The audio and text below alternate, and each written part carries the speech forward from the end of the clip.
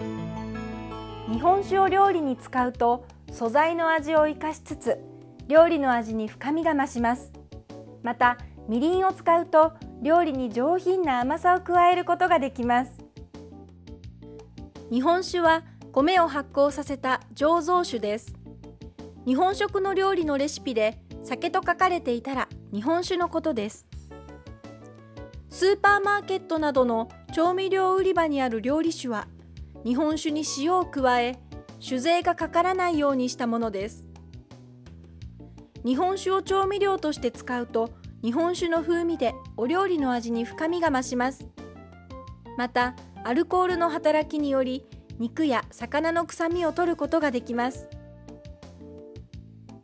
みりんはもち米と米麹に焼酎を加え熟成したものでアルコールが14%程度含まれています。上品でまろやかな甘みと旨みがあります。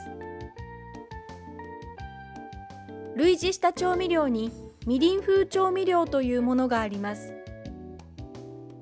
ブドウ糖などの糖類にうまみ調味料などを混ぜ合わせたものでアルコール分は少なくみりんより低価格で流通しています。